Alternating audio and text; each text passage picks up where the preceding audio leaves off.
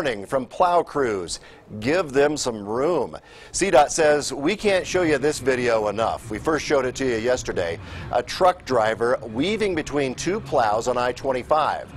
And if you think this is only happening on the interstate, think again. KRDO News Channel 13's Greg Miller joins us live in Colorado Springs. And Greg, the crews say do not assume anything. Yeah, James, plow crews are focused on their job, not you, and they need you to give them some room and take some responsibility if you've got to dig out of the snow to get on the roads. Susan Hip lovingly refers to her Volkswagen Beetle by the name Gertie. know where to start. Gertie hasn't seen the light of day since last week because when road crews started clearing, they buried her car in the process. Not really. Uh, the alley parking, but it's just as deep out back there, if not deeper. Though at least she did clear off her car, that hasn't been the case for all drivers in the area.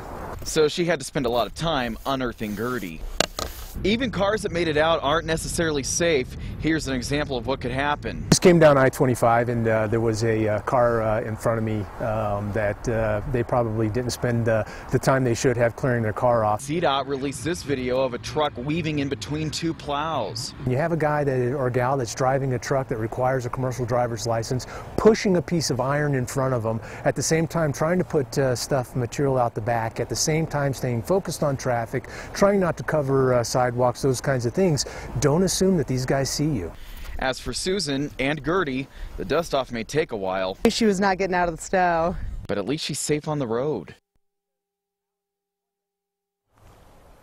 Now, road crews will remain on that all-call status for, for, at least the next 12 hours as they try to get into some of the residential areas. Again, they're asking for patience, which is likely wearing thin for a lot of drivers as we hit the fifth day of battling these elements. We're live in Colorado Springs tonight. Greg Miller, KRDO News Channel 13. All right, thanks so much, Greg. And uh, as they say, it's usually the four-wheel drives that get in those accidents because it's four-wheel go but not four-wheel stop. So we need to remember that when we're on the roads and right